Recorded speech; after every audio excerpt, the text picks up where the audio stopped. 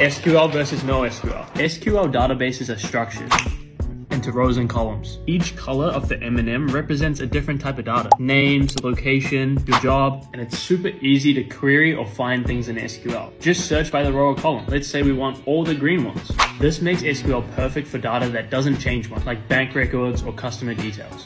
NoSQL, on the other hand, is much more flexible. Unlike SQL, where every entry has to be the same structure, NoSQL lets each entry be unique. Think of each cup as a social media post. One might have photos, another a video, some with comments, some with captions, who knows. NoSQL can handle variety and lets the platform grow fast, but there is a trade-off. Since NoSQL doesn't have a strict structure, finding specific data across all of these posts is a lot harder and slower. So SQL is great for places like banks where you need strict structure and it's easy to query stuff, but NoSQL wins with flexibility, making it perfect for diverse, fast changing environments like social media, even if it's harder to query. Of course, there's a lot more to learn. So if you want hands-on projects that are going to teach you more about databases, head to the link in our bio, sign up for free, and then click on the databases projects. And make sure to follow for more tips and explanations.